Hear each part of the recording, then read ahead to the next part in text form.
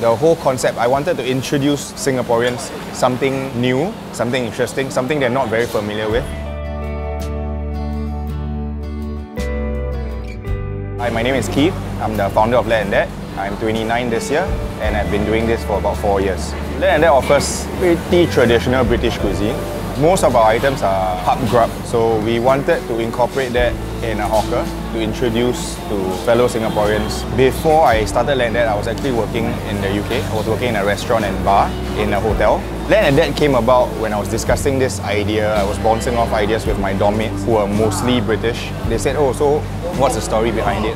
I might want to do something with my dad, get him involved. So they said, oh, you're a lad with your dad, why not just come up with a name that has a good ring to it? Ah. It was very important for me because, I mean, being a student in a foreign country, especially in London, eating out was very expensive. So I got a couple of recipes from my mom, started working in the restaurant, it's where I met other chefs and then got the whole concept of the British cuisine I wanted to do in Singapore. That's when I started applying for culinary courses. In fact, the first time I came back and let my mum try it, she said that it's not acceptable because uh, Singaporeans have a more complex taste bud we expect more flavor, more umami, kind of thing. So we incorporated some local flavors in there. You know, in a hawker center, our prices are kept at $10. And if you go to a cafe or restaurant, there's no way you can find this kind of food at this kind of prices. Today we'll be doing our signature beef stew. So our beef stew is actually slow cooked for 8 hours. We serve it with homemade mashed potatoes. So our mashed potatoes, we use actual butter, no margarine, no fillers, no powder, nothing. It goes perfect with the tender beef chunks and gravy.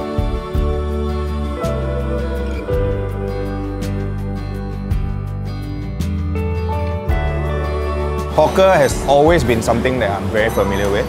So I grew up having hawker fare on a very regular basis. Convenient, it's affordable, and you have a good choice. When I was studying there, one of the things I missed the most other than my friends, my family, was actually the hawker centres because I couldn't get that kind of options in the UK. The second dish would be uh, our fish and chips. So unlike all the other coffee shop and hawker stalls, we use haddock. We source for Atlantic haddock and we do it in our own house-made batter. So our fish and chips is not breaded but battered crispy on the outside, soft on the inside. And we serve it with straight cut chips as well as a homemade mushy peas.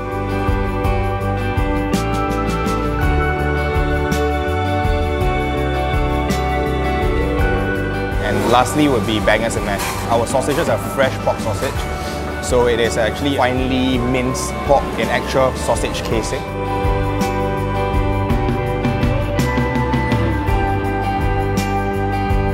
We always want our customers to feel that the food is worth the price.